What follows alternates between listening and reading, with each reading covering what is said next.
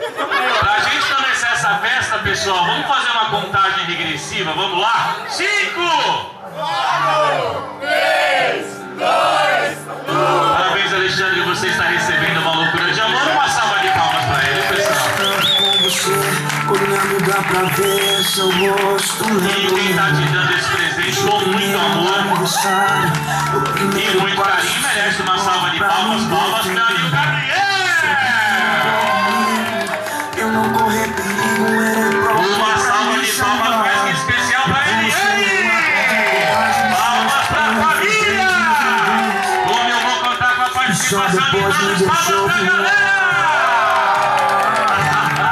Mas eu só Eu queria vocês mais juntinho do Alexandre, que se ele desmaiar, ele não cai no chão.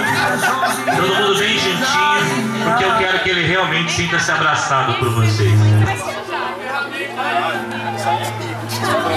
Alexandre, antes de começar essa homenagem para você, vou te falar uma coisinha de verdade, de coração, e é o que eu acredito, e eu acho que é o que você está pensando também.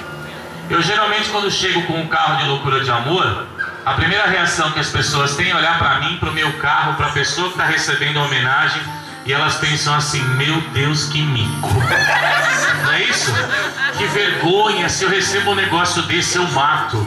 E por aí vai. Não é isso? Mas uma coisa, meu amigo, é fato. Primeiro, vou até pertinho de você. Mico é você ter um filho que o cara às vezes não dá nem bom dia pra você, ou que a pessoa não chega pra você e diz: Eu te amo, pai. Você tem o privilégio. Você tem o privilégio. Você tem o privilégio de ter um filho que tem você como referência. Isso é privilégio. Você tem uma mulher que tem um amor incondicional por você. E uma coisa, meu amigo, é fato. Feliz o homem que tem o privilégio de compartilhar sua vida e a sua história com uma mulher que vale a pena. É verdade! Eu sempre digo, Alexandre, que mico, mico é não ter ninguém para amar. Mico é relacionamento falido. Mico é você ter um pai que às vezes você nem conversa com ele, ou um filho que você não possa se orgulhar. Eu acho que esses são os maiores micos que uma pessoa pode passar. Geralmente quando eu chego com um carro de loucura de amor e as pessoas olham para mim, para o meu carro e pensam que é mico, eu sempre costumo dizer o seguinte: não é a loucura de amor que é mico. Quem pode transformar, digamos assim, esse momento em um momento extremamente constrangedor, Alexandre, é a forma como as pessoas da homenagem vão entregar esse presente para você. E quando sua mulher e seu filho me chamaram para te dar esse presente, em nome da tua família, em nome dos teus amigos, a ideia não foi fazer você se sentir o cara mais envergonhado do Tatuapé, mas fazer sim você se sentir o homem mais amado do universo. Por isso, meu amigo, esse tipo de homenagem, você pode ter certeza, não é qualquer homem que recebe, não é qualquer pai. Esse tipo de homenagem, quem recebe é o homem, é o pai. Um cara para receber esse tipo de homenagem tem que ser um cara muito amado, especial e diferenciado. Parabéns por ser merecedor dessa homenagem. Pode bater palma que ele merece mesmo. Eu queria que vocês ficassem mais juntinho do Alexandre, se ele desmaiar, não cai no chão. E eu vou começar essa homenagem para você com uma mensagem, meu querido. Receba com muito carinho, porque tudo isso é para você. Hoje a nossa família está em festa. Mais um ano se completa para você. Mais um ano da tua ternura, do teu carinho, da tua companhia e de outras tantas virtudes que você nos demonstra. Todos nós estamos felizes por ter você fazendo parte de nossa vida. Sabemos que a família sempre acaba interferindo em certas coisas e aborrecendo em outras. E mesmo assim, você sempre tem um gesto de carinho para nos oferecer. Muitas vezes observo suas preocupações com a saúde deste, com os problemas daquele. Nunca, jamais nos prive da sua presença, da tua companhia. E saiba que essa sua família está aqui para o que você precisar. Você sempre nos deu muitas alegrias e a família inteira resolveu te homenagear através desta mensagem, que é um pequeno sinal de todo o amor e carinho que temos por você. Que a felicidade te acompanhe por todos os anos que vierem. Que haja muita prosperidade em sua vida e que todos os seus sonhos sejam realizados. Te amamos muito. Feliz aniversário. Uma salva de palmas para nossa homenageada. Eu vocês ficassem mais juntinho do Alexandre, bem juntinho. A dedicação para te dar esse presente, Alexandre, ela foi tão intensa, ela foi, foi tão especial. Tudo que você está vendo e ouvindo tem, tem o toque especial do seu filho e da sua mulher. E eu não ia falar, mas como meu nome é Nelson, nome de fofoqueiro, eu vou falar. Uma das coisas mais legais que eu acho quando as pessoas contratam a gente é quando as pessoas compartilham esse momento. E foi exatamente isso que o teu filho e tua mulher resolveram fazer quando me chamaram para te dar esse presente. E eu tenho um recadinho para você. Pai e filho, talvez. Oi, pai. Pai, Dessa vez a gente se superou, fala a verdade. pode ser que daí. E eu imagino que o senhor deve estar morrendo de vergonha e querendo me xingar. Ou até me matar. desses 20 ou 30 Mas, pai, quando a gente pensou em fazer essa homenagem para você, a nossa ideia não era fazer você se sentir o cara mais envergonhado da rua São Bernardo. Muito pelo contrário, é fazer sim você se sentir o pai mais amado do universo. pode crer. O aniversário é seu, mas o presente eu recebi o dia que eu nasci. Tô tentando viver Senhor é a minha base, a minha segurança, o meu porto seguro. E se eu for metade do que o Senhor é, eu tenho certeza absoluta que eu serei um grande homem. O Senhor não faz ideia, Pai, do quanto o Senhor é importante e especial na minha vida. E se às vezes temos as nossas diferenças, qual é o pai e filho que não tem? Mas o mais importante, o que nos une, Pai, é a nossa história e o nosso amor. E quer saber? Você, quer saber de verdade o verdadeiro valor do abraço de um pai? Pergunte ao filho que não pode receber. Eu-. Eu tenho o privilégio de receber esse abraço, de receber um beijo, de receber até de vez em quando um puxão de orelha, porque eu sei que o Senhor deseja o melhor para mim.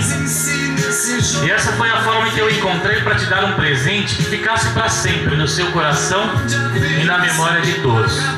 Não fica com raiva de mim, não, pai. Mas essa foi a forma que eu encontrei para te dizer que eu te amo muito. Feliz aniversário, meu pai. E a você, meu amor. Obrigado pela família que você me deu. Obrigado por me fazer uma mulher completa, feliz, realizada. Obrigado por me amar da mesma forma que eu te amo. Por cuidar de mim da mesma forma que eu cuido de você.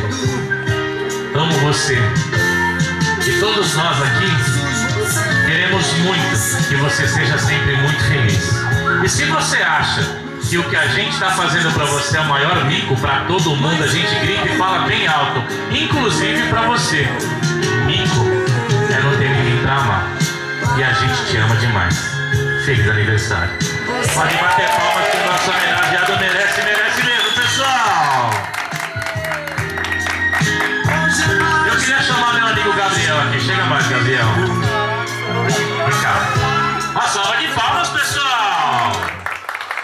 vou te deixar sozinho. Eu vou te chamar. Vem cá, mamãe. Vem cá pertinho também. Uma salva de palmas, pessoal. Não tava combinado, né? Vou dar uma dica pra vocês. Não importa se é um discurso, se são três palavras.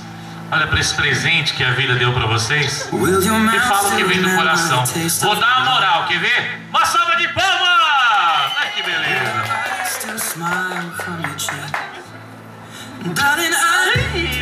Dá vergonha. Não, eu quero agradecer a Deus, primeiramente, pela vida do Alexandre, porque realmente é, ele é uma benção não só para a família dele, principalmente para mim e para o Gabriel. Ele é uma benção. Eu ainda hoje ainda falei para ele, é, Deus me deu o melhor marido e o melhor pai. Porque é, eu sempre, antes de casar,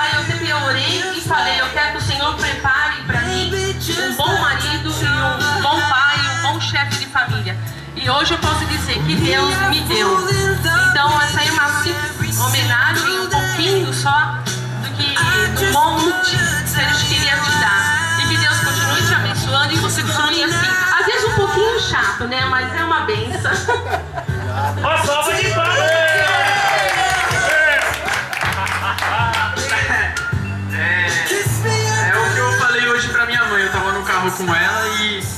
Falei com ela, meu, eu tenho certeza, convicção que Deus pôde me dar o melhor pai que tem. Eu falei, eu tenho dó dos outros, tipo, não dó, eu sei que tem muitos pais bons pelo mundo, mas eu falei, eu tenho dó dos outros de não ter o meu pai, porque o meu pai, sem dúvidas, é o melhor. Eu agradeço todo dia, eu oro pela vida dele quando eu vou dormir, principalmente. eu- e eu tenho muito orgulho da pessoa que ele é, como eu sei que todo mundo aqui tem um pouco de orgulho da pessoa que ele é. E eu te amo, pai. Vai,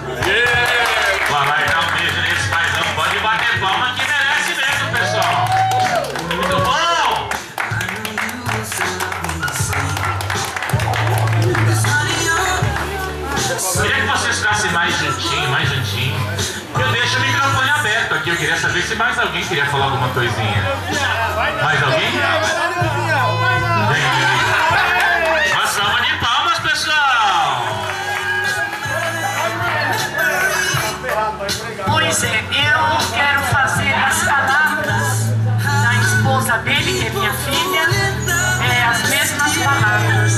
Ela disse que Deus deu o melhor para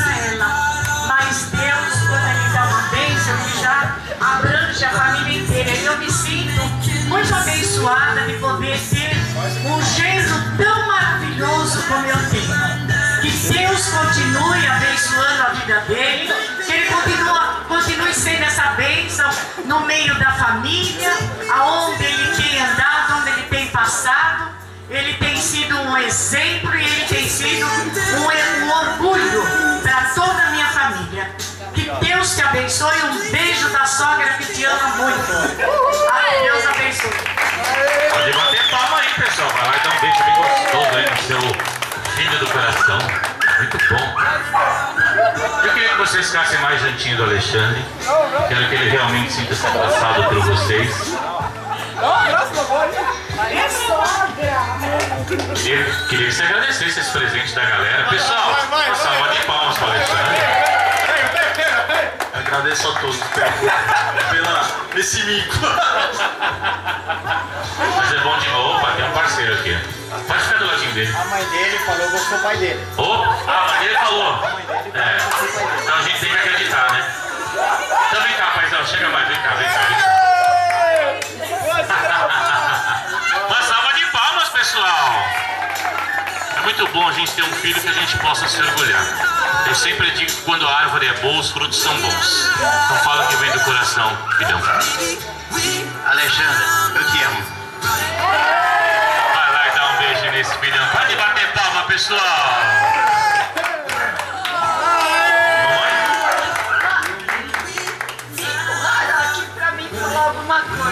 Só posso dizer que é um filho do coração. Um filho que sempre orgulhamos e gra- graças a Deus por onde ele passa sempre dá um orgulho e alegria. Te amo. Pode bater palma aí, pessoal. Muito bom. Mais alguém? Pelo menos mais uma pessoa? Vai, vai, vai, vai, Quem vem? Você não tem telha, Vai lá, Zé. Quem vem? Mais alguém? É a mãe dele aqui, ó.